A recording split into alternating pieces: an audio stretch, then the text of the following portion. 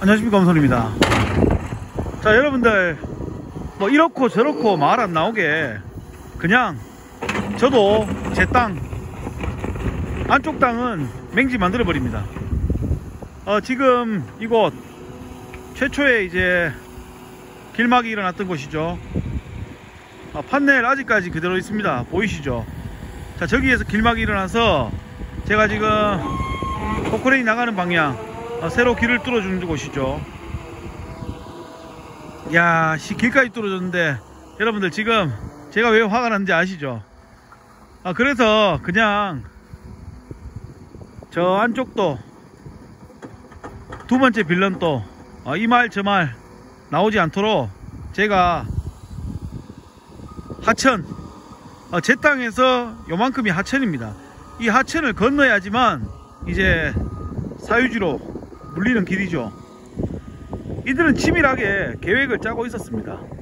어, 제가 이 안에 있는 만평의 땅 그냥 맹지화 만들어 버리겠습니다. 어, 저도 들어가지 않겠습니다. 그냥 저도 걸어 다니면서 하겠습니다. 이야, 진짜 제가 아기 때부터 어, 이렇게 다니던 길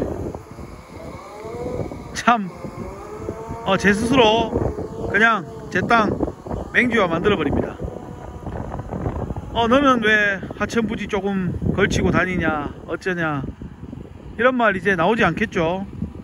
나오면 더더욱 제가 가만히 있지 않겠습니다.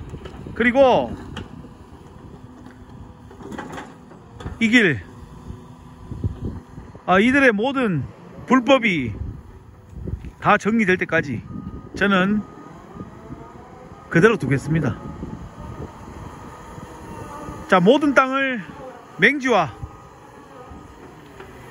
제가 다 만들고 이제 어, 여러분들에게 앞으로 이곳에서 어, 떻게 제가 앞으로의 일을 진행하고 처리할지 또 영상으로 올리도록 하겠습니다.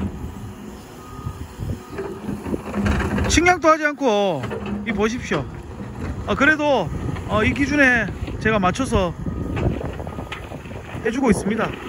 참 어이없는 사람들. 이들은 반성은커녕 오히려 지금 저를 더 비판하겠죠. 아 원래 공산당들이 그래요. 이 공산당 같은 인간들 진짜 참 남들은 비판하면서 자기들의 비판은 자기들의 반성은 듣기도 싫고 하기도 싫은 인간들이죠. 아 그냥 금융치료 참교육 진행하겠습니다.